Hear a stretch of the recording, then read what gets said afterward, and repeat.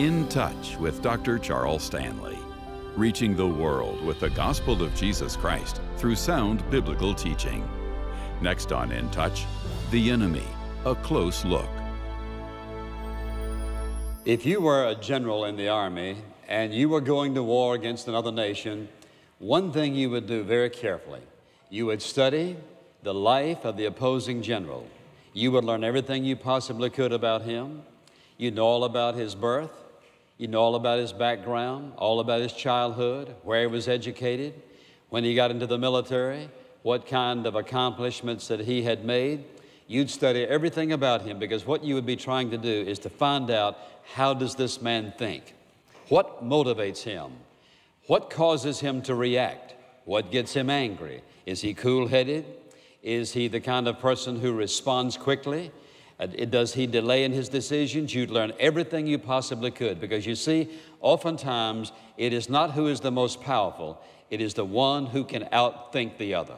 It is being able to understand how this general thinks. And if you can outthink him and you can think the way he thinks, then you will know his next move, and more than likely, you'll win that battle. Well, it's interesting how in the military, men study very, very thoroughly their opposing enemy. Well, you and I have an opposing enemy, and he opposes us at every turn in our life. Everywhere we turn, he is there with his demonic powers in some fashion, in some way, to cause us to falter and to fall, to step out of God's will, and to miss his plan for our life. But isn't it interesting that we can just sort of go through life and somehow never think to realize that it's very important that we understand how the enemy thinks. We have someone who is opposing us, who is against us. It's very clear in the scriptures how he thinks. In fact, you and I have a manual called the Bible that gives us several thousand of years of how this opposing general, how this satanic power is going to act, how he responds, how he works in the lives of others, how he has failed and how he has succeeded so often. So, if you and I are going to succeed in the Christian life of living a victorious life, if we're going to be able to live in the victory that our Lord provided for us, then one of the wisest things we can do is to understand the mind of our opposing general. This is the second message in our series on the believer's warfare. And in this message, I want us to talk about the enemy, a close look. And you'll recall now that the Apostle Paul has written these first three chapters of Ephesians to tell us what we have as a result of being a believer. And chapters four through five and a half here of how we ought to live. And now he says you have a problem, you have an opposing force. And this is what he says beginning in verse 10. Finally, be strong in the Lord and in the strength of his might. Put on the full armor of God that you may be able to stand firm against the schemes of your opposition your opposing general, your enemy, the devil. For our struggle is not against flesh and blood, but against the rulers, against the powers, against the world forces of this darkness, against the spiritual forces of wickedness in the heavenly places.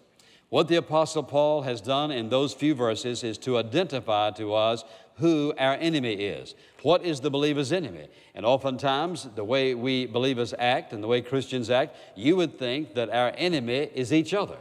And yet, the truth is, the real enemy is none other than Satan himself. But if you'll notice in this passage, it isn't just Satan, because the truth is, there's a whole confederacy of opposition. Satan being, of course, the ringleader and the general, but notice what it says. He says, Stand firm against the schemes of the devil. But then he doesn't stop. He says, For our struggle is not against flesh and blood, but against what? Not just Satan, but rulers, powers, world forces of this darkness against spiritual forces of wickedness in the heavenly places.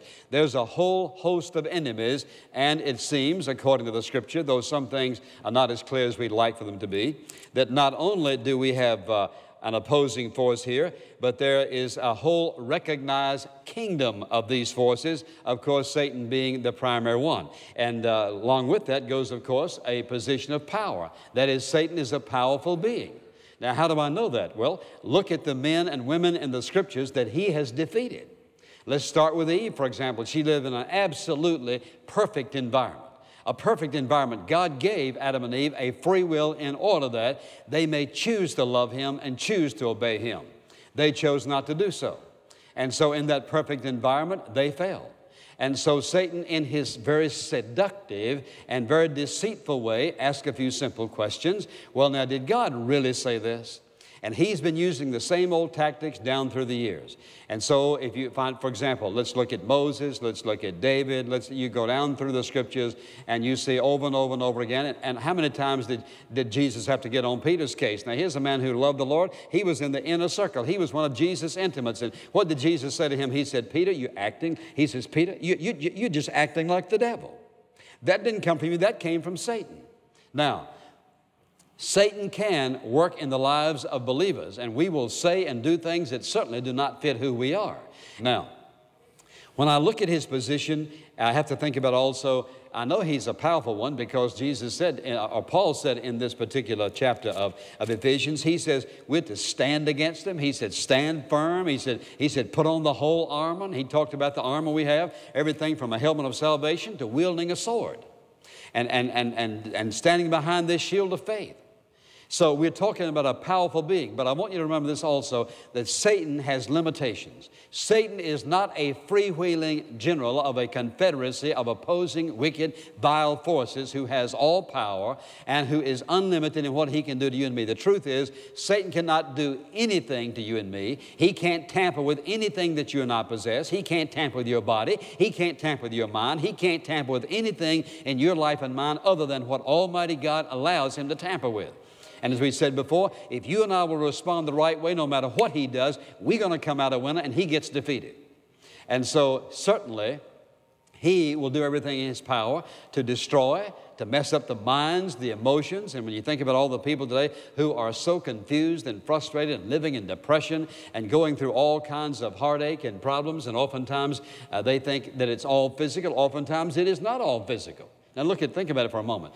When you and I choose to sin against God, and we and we and we start living in that sin, and, beca- and that sin becomes a part of our thinking, our way of life, we're not going to be happy. We're going to be miserable, and that isn't all the devil because that's the power of the Holy Spirit convicting the child of God. God is not allowed, not about to allow you and me to be happy living in sin and living in disobedience.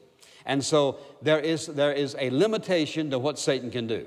What is Satan trying to do? He's trying to mess us up every way he possibly can. He's trying to do everything he can to, to, listen, to keep as many people as he can out of heaven, because every single person who's there is an expression of the glory and the grace and the mercy of God, and he hates everything that brings glory to God. That's what that verse is all about. So, there is a limitation to what he can do, and God has set that limitation on him. He can only do so much in our life. Now, he is not omnipotent. He is not omniscient. He is not omnipresent. He is not omni anything. Praise God. He is limited. Amen. That's right. He is absolutely limited in what he can do. Now, the question is, what is it that he's pursuing in the unbeliever's life? Here's what he's, after, uh, here's what he's up to in the unbeliever's life. For example, first of all, he wants to blind them to the truth. Second Corinthians chapter 4, he talks about, he, listen, turn to that. I want you to turn to several verses here. You know this one by heart, but I want you to turn anyway if you will. There's something about seeing it with your own eyes, looking at it and reading it. Listen to what he says. He says, Paul speaking here, and even verse, th- verse 3 of chapter 4, and even if our gospel is veiled, it is veiled to those who are perishing. He says, if they can't understand it, they can't see it, who is it? Those who are perishing. In whose case the God of this world, this world system, has blinded the minds of the unbelieving that they may not see the light of the glory of the gospel of the glory of Christ, who is the image of God. So, first of all, what's he doing to the unbelievers? One thing he's doing, blinding their eyes so they can't see the truth, won't understand the truth, won't know it. Second thing I want you to notice is something Jesus told us about in a parable. So I want you to turn, if you will, to uh, Mark chapter 4 for a moment. And you'll remember this is the, Mark, this is the chapter, and this is the um, parable about sowing, sowing seed. And you recall that Jesus talked about where the seed uh, fell and, uh, and uh, what happened uh, when they fell. Look, if you will, in, uh, let's begin in the 13th uh, verse of this fourth chapter of Mark. And he said to them, Do you understand this parable? And how will you understand all the parables? The sower sows the word. These are the ones who are beside the road, where the word is sown. And when they hear, immediately Satan comes and takes away the word which has been sown in them. Now, this is why I say to you when you come to church, you bring your Bible and bring something to write it down. You know why? Because I'll tell you why. Satan, listen, Listen, not only in the unbeliever, but listen, Satan's desire for the unbeliever, of course, is blind him to the truth. Satan's work in the unbeliever also true in the believer, and that is to steal the word. And I've learned a long time ago, if I wake up in the middle of the night and the Lord lays something on my heart, if I don't write it down, you can bet your life Satan will do his very dead level best to cause me to forget that. When, listen, when God says something, you write it down. If you hear something that's worth, that's worth applying to your life, write it down. I'll tell you why. Satan will steal God's word out of your heart. There it is in black and white. Why do you think Jesus gave this parable? He gave this parable to warn us of how Satan operates. Not only does he blind the minds of people to the truth, but he also snatches the word. He steals the word. He, listen, Satan opposes the gospel. He, he, he opposes the gospel. Now, there are lots and lots of scriptures you and I could, especially in the book of Acts, and we see Paul preaching the gospel, and the opposition of the Judaizers and so forth. He, he opposes the preaching and the proclamation of the gospel. But I want you to look also uh, in, think, in thinking in terms of this that he will do everything in his power to keep someone from believing. So, what is he doing? He's blinding people's eyes, snatching the word from them. And, uh, and, and he works through the unbeliever to oppose the preaching and the teaching of the word of God. But there are many other things he does in the life of the unbeliever. What I want to talk about for a moment is what does he do in the life of the believer? What, what's Satan's activity in your life and my life? Now we'll talk about his, we'll talk about his tactics later, but what, what does he do? Well, he tempts us to sin. And that's one thing he does. And of course, he lays snares for us. Every single child of God needs to develop a, a, a spirit of discernment. That is, that we just don't take things on face value. We don't jump just because something looks good. We look at it from a spiritual point of view. We look at it from God's viewpoint. Listen, everything Satan tempts you and me with, he listen, he's not going to tempt us with something that is absolutely horrible, something that is very painful. He's going to tempt us with things that look good, smell good, feel good. I mean, you name it, it, it looks like the right thing. He always camouflages it that way. And so, what we have to do is have enough discerning spirit to say, you know, that sounds good, but the question is, does it match up with who I am? Secondly, does it match up with the Word of God? Thirdly, is it a violation of any principle of God's Word? And so oftentimes people get in financial trouble, they get in all kinds of difficulty and hardship. Why? Because they have no spiritual discernment. It just looks good, they trust somebody else, and they go on with it. We're to have a discerning spirit. Why?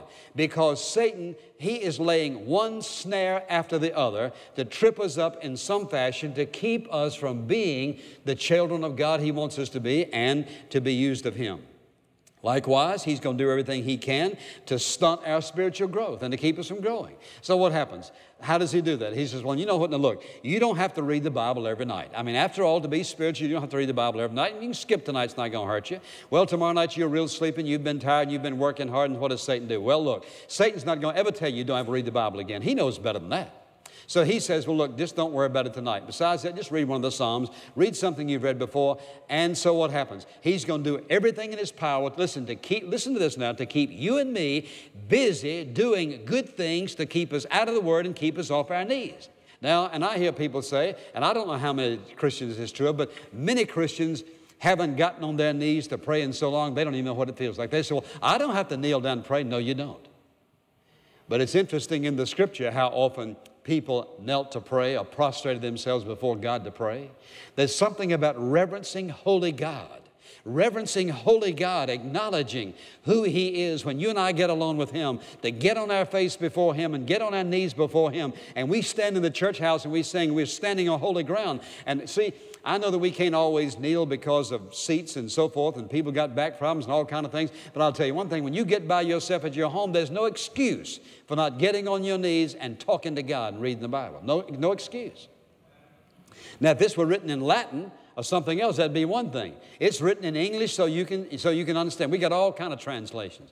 Living Bible, uh, you know, New King James, King James, New American Standard, NIV, you name it, all kinds. Listen, we, we got it in plain English so we can read it. We have time to read it. Listen, we are God's children. This is what we have to feed on. And so what does Satan do? He's going to do his best to keep you out of the Word and listen, keep you out of the Word and to keep you from, listen, from gleaning anything you come and you sit and listen to a message, for example. If he can, listen, if he can get you thinking about anything while I'm preaching, he's going to do it.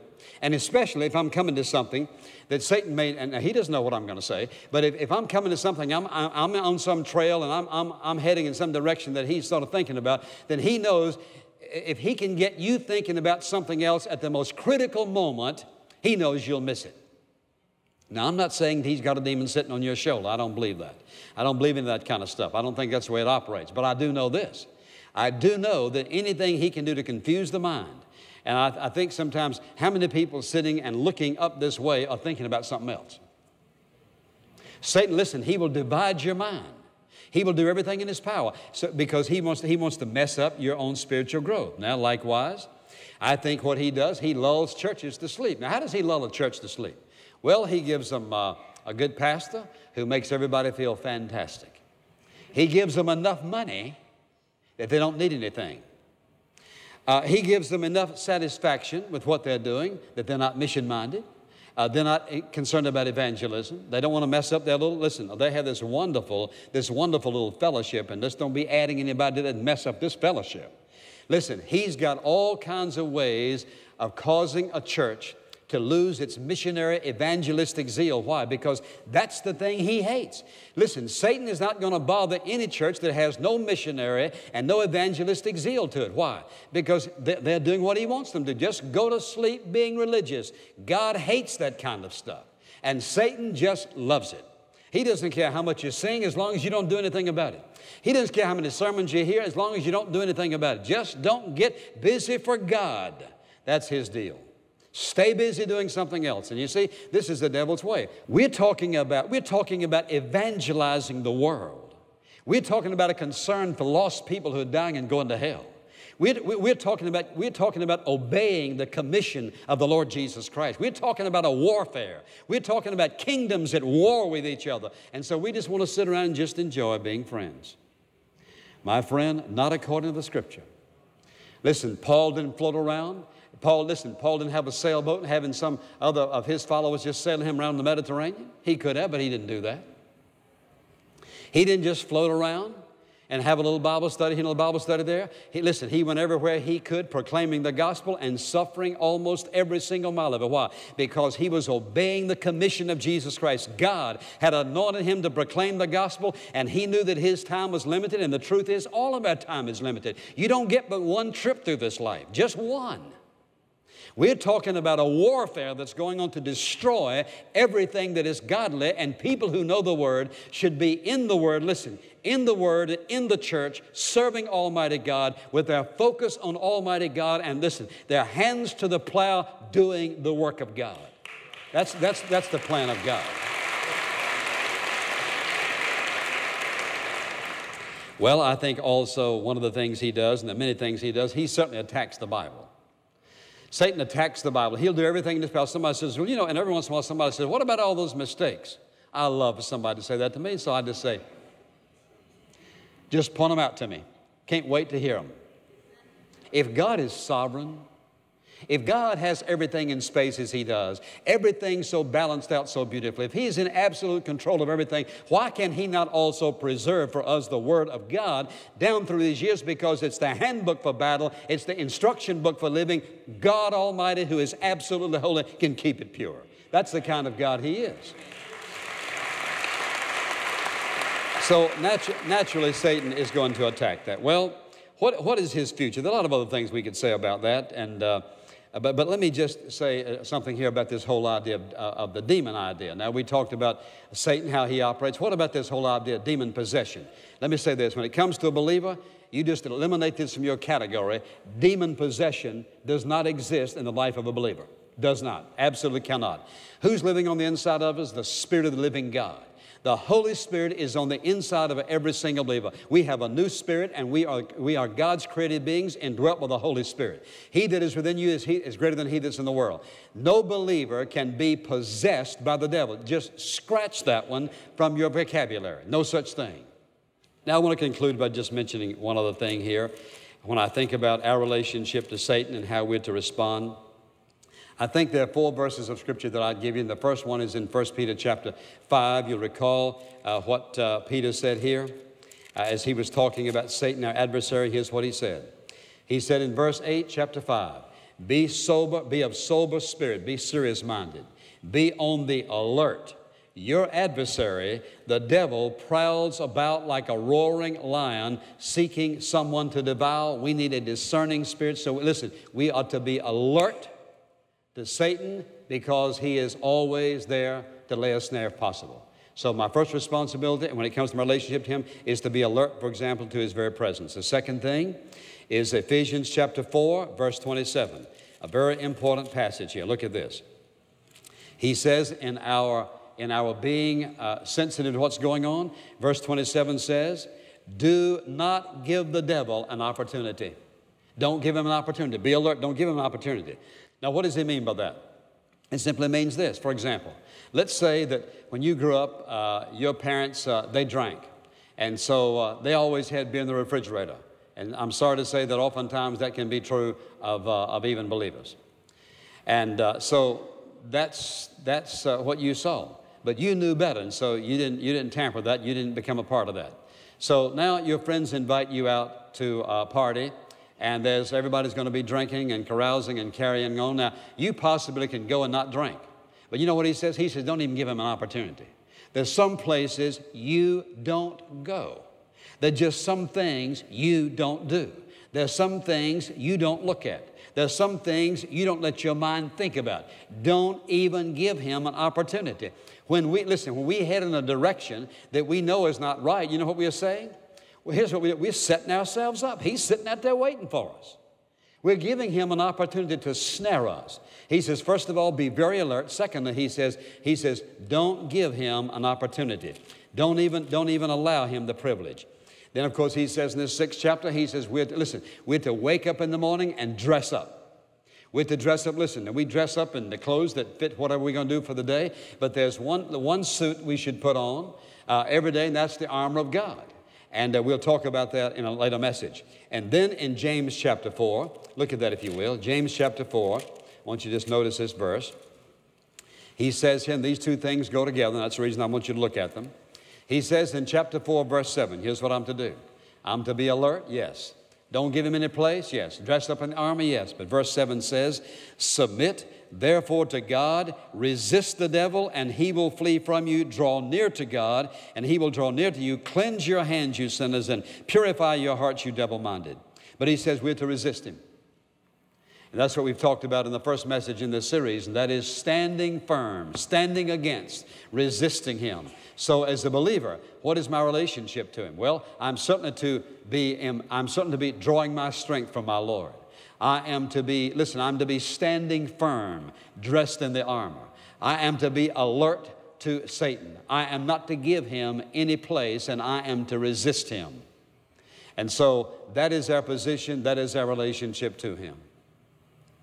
Now, if you have never trusted Jesus Christ as your personal Savior, you say, well, then what's my relationship to the devil? It's real simple. He's got you exactly where he wants you. He will tell you that you don't need God. Or he will tell you if you're going through some difficult time in your life, well, God can't help you. You can't pray. He's not going to answer your prayer.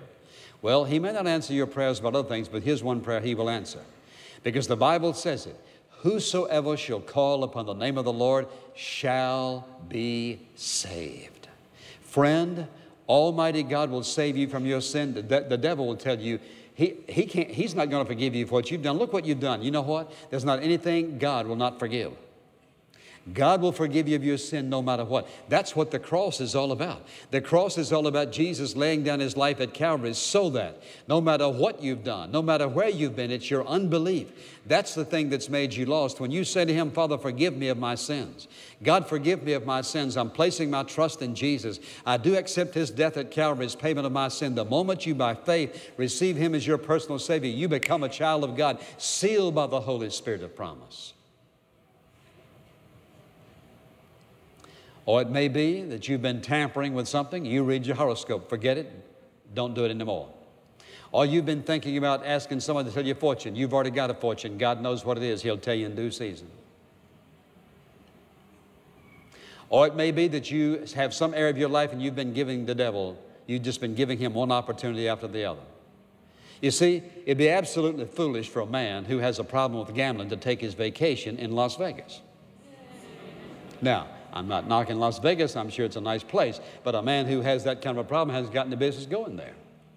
A, problem, a person has a problem with drinking, shouldn't be going to a nightclub, shouldn't go there anyway. But I'm saying if he has a problem with drinking, don't, then don't go sit down at the bar waiting for your table in the restaurant. There are all kinds of opportunities you can give him. Don't do it. Now, he says, Forsake not the assembling of yourselves together. We said, when we come together, it's a training session for the battles we face. Now, I can tell you something. You watch this. You just watch this. This coming week, watch out. Just watch out, I'm telling you. Because Satan says, okay, all right, so you've heard, you've heard all the truth. I've been blasted twice today. So I'm, I'm going to see if I can't come back and, and uh, do a little damage. Tomorrow morning, you get up, here's what you do you put it on. You just read that sixth chapter of Ephesians about, about the armor of God. Put it on.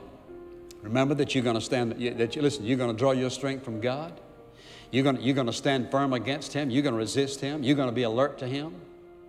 You're going to be in the Word of God. You're going to be on your face before God because you and I live in a world that's at war with Almighty God. And so we want to walk obediently before Him, trusting Him. If you've been blessed by today's program, please visit us at intouch.org. In Touch leading people worldwide into a growing relationship with Jesus Christ and strengthening the local church. This program is sponsored by In Touch Ministries and is made possible by the grace of God and your faithful prayers and gifts.